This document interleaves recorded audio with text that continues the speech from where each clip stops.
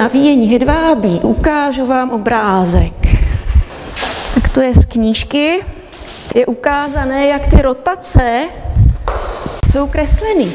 Jo, vidíte, že tam jsou nějaký kolem paží, spirálky, kolem nohou. Ukážu je zase tady. A vám. Máme to tu i zezadu. A všimněte si, že to zasahuje i dozad.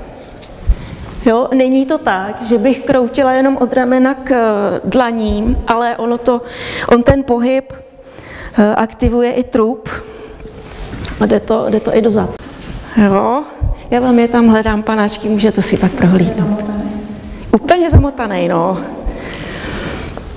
A vy jste si zkusili toto, tuto část. Cviky vypadají jednoduše, ale jsou velice hluboké a jsou s cílem navodit tuto rotaci.